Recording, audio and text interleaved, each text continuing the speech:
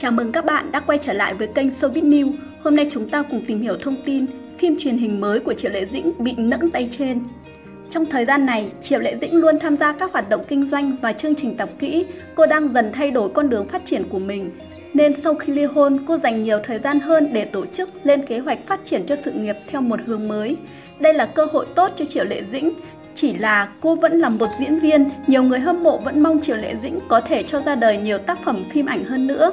Vô tình gần đây giữa Triệu Lệ Dĩnh và Đồng Giao tình cờ đã đụng độ. Có thể thấy, tranh cãi gần đây của Đồng Giao là rất lớn. Tuy rằng 2 năm trở lại đây cô đã rất được yêu thích, nhưng nhiều người cảm thấy kỹ năng diễn xuất của cô sẽ không phải là nữ diễn viên xuất sắc nhất của giải Bạch Mộc Lan năm 2021.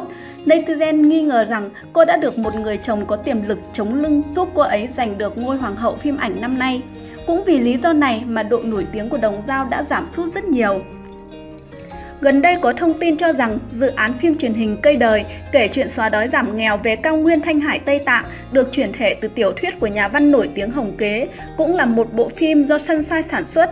Hiện tại vở kịch vẫn đang trong giai đoạn chuẩn bị casting, nhưng đã có thông tin tiết lộ rằng nữ chính số 1 của vở kịch là Triệu Lệ Dĩnh, nhưng đã bị Đồng dao nẫng tay trên. Có thể là do Đồng dao gần đây đoạt giải thị hậu, theo xu thế chung nhất định phải có tác phẩm tốt để đảm bảo ngôi vị của mình, đó mới là lý do nó được được giao cho cô ấy.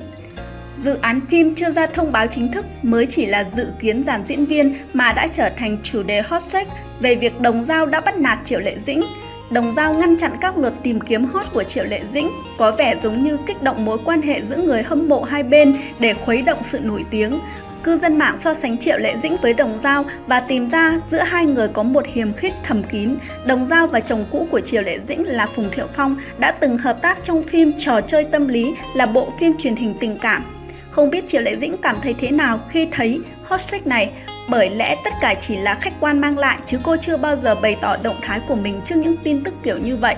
Nhưng quả thực khán giả đã không nên có ác ý với Đồng Giao, rốt cuộc đây chỉ là nghi ngờ, Đồng Giao chính thức vẫn chưa được xác nhận là nữ chính cuối cùng, còn Triệu Lệ Dĩnh vẫn chưa được xác nhận là nữ chính được lên kế hoạch.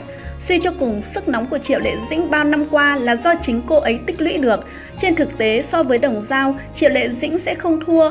Dù là điểm số hay kỹ năng diễn xuất, Triệu Lệ Dĩnh đều xuất sắc hơn, cô được người hâm mộ ủng hộ là sự thật.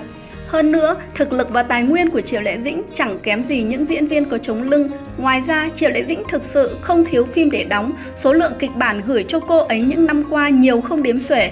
Đã đạt đến vị trí như Triệu Lệ Dĩnh ngày hôm nay, không chỉ đoàn làm phim có quyền chọn người mà cả diễn viên như cô đều có quyền chủ động. Dù không làm phim này, cô vẫn có thể lựa chọn phim khác, những bộ phim có chất lượng hơn. Xem thông tin này, người hâm mộ mong rằng Triệu Lệ Dĩnh sớm ra mắt bộ phim mới của mình. Chúng ta cùng chờ đợi nhé. Cảm ơn các bạn, chào tạm biệt và hẹn gặp lại các bạn ở những video tiếp theo.